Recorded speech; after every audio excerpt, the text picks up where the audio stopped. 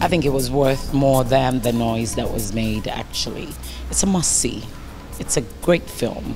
Um, I'm proud of the fact that La Femme Anjola came out of Nollywood and I am a part of Nollywood. It shows the strides that we're taking. Um, the actors were phenomenal.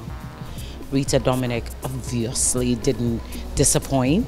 And then my guy right here, Nonso Bassey, he did an excellent job. And then there was a particular lady that got my interest, the Kenyan, um, the girlfriend.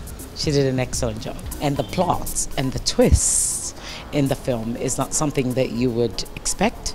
Um, it was a great film, well shot. The soundtrack was on point. The lighting, the everything was on point. The locations were awesome. And I think people are going to watch it and think, this came out of Nollywood. I will tell you to go watch La Femme Anjola. It's a great film. It's worth every dime. Um, you have a lot of your favorites in it, but if you want to watch a film that is worth every dime, that captures you, that gives you way more than what you expected, this is the film. You're very welcome.